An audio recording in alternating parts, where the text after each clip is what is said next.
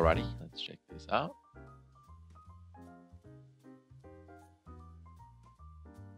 Hmm, it feels fast. If I go into AV controls and do half speed.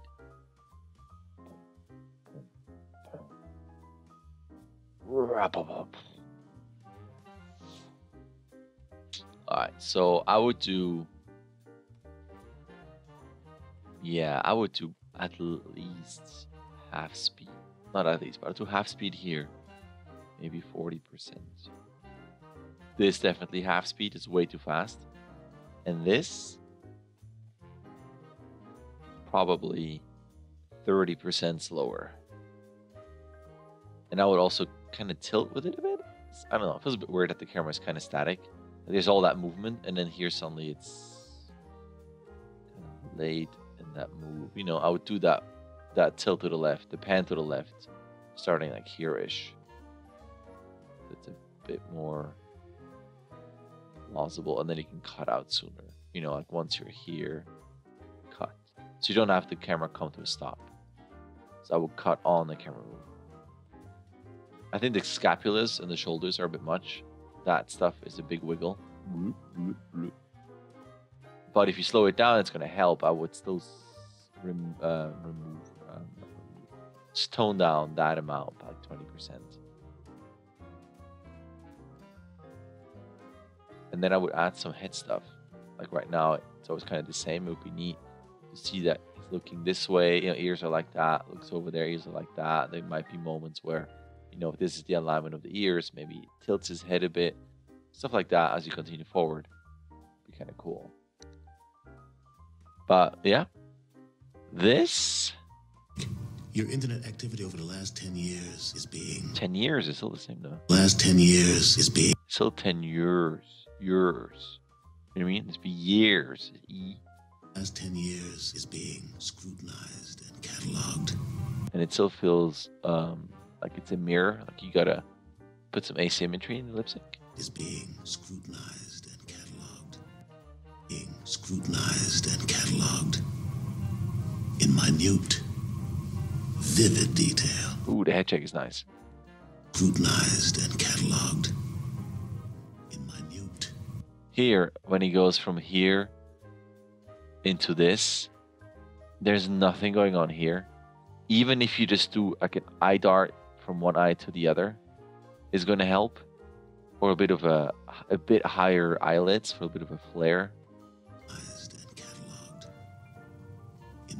Just because once you go and he continues the line, there's still nothing on in the face. But if you do, if you look at someone and you go in minute, just muscle wise, if you start saying things, it's going to activate and fire some stuff. So you can have a tiny bit of eyebrow raise, something has to happen before, at least before, right before it says in minute.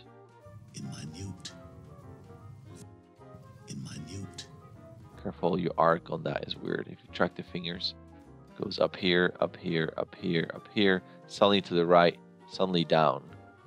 You're doing this as opposed to a, a circle. So watch your arcs there. Vivid detail. Your wrist is drifting up at the end. Watch that. Vivid detail. Your internet activity over the last 10 years is being scrutinized in minute. This feels a bit weird how this arm goes up, his screen right one, oh, the, his left and screen right one. I guess you're saying this goes up so there's more weight on this but then if this goes down to me it would feel like that hand will go up like this part of the chair goes goes down because all the weight is here now. But when that happens it's actually the opposite. You know what i mean? Like this section goes down as opposed to up. All the weight's gone from here because that arm goes up. So i would look at that mechanics wise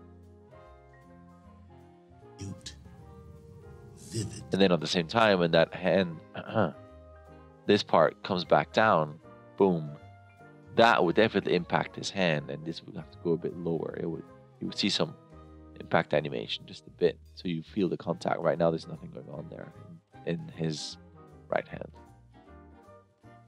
Your internet activity over the last 10 years is being scrutinized and cataloged in minute, vivid detail.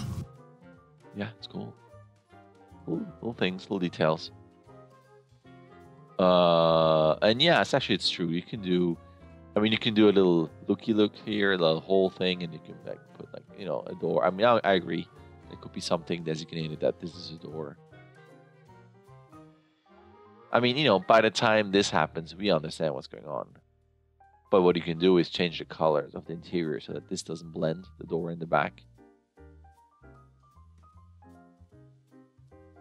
Careful in terms of animation. See how that wrist is just going back almost in the same rotation and it's it's a bit feels a bit IK and then you pop over one frame. And then you have this moment here. See this where this goes from here to here, but then the wrist orientation is the same. So watch out for that. See, this is a full IK arm going back. So you have to always be careful about arcs and wrist orientation.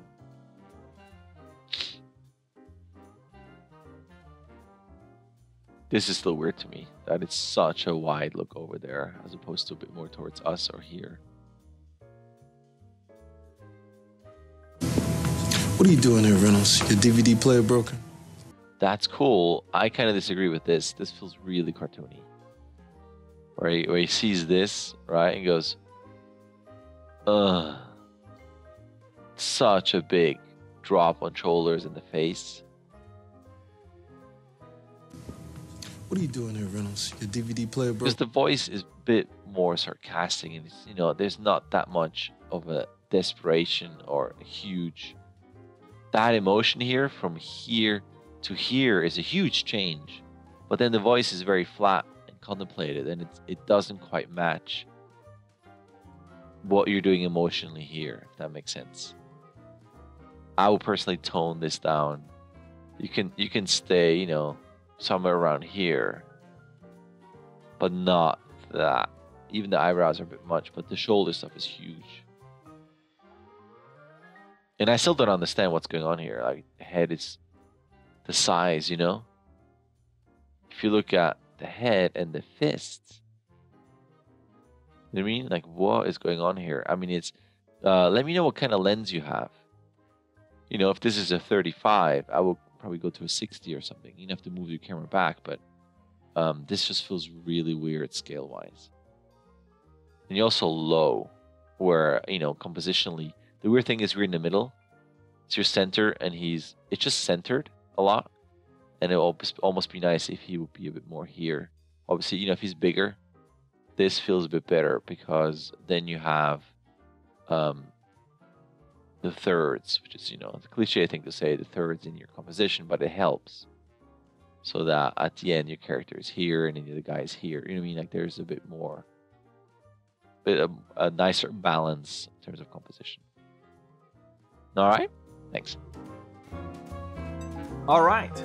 There's an email. You can sign up. You can start whenever you want. You can submit whenever you want. You get 16 submissions. Either way, a like and subscribe would be awesome. All right. Thank you.